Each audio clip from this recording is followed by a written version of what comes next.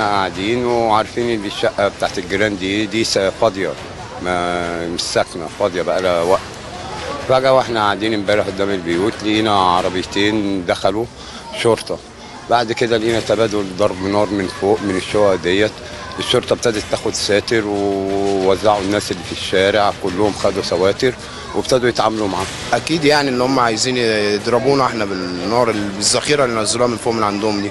هم نزلوا ذخيرة جامدة قوي بنشكر برضك رجال الشرطة اللي هم حمونا وحموا أولادنا وأطفالنا اللي في الشارع. ما إحنا مصر وإحنا الشعب ولازم نخاف على أولادنا وعلى حياتنا جنبنا مدرسة وراها مدرسة تانية.